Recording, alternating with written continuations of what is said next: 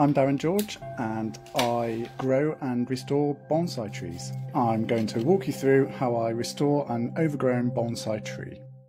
The first step in restoring this bonsai tree is going to be cleaning up the massive branches so that I can see the underlying structure of the tree where I am removing a larger branch, I'm going to use a special putty that we call cut paste. The cut paste helps the wound heal much faster than it ordinarily would and prevents rot and bacteria setting in.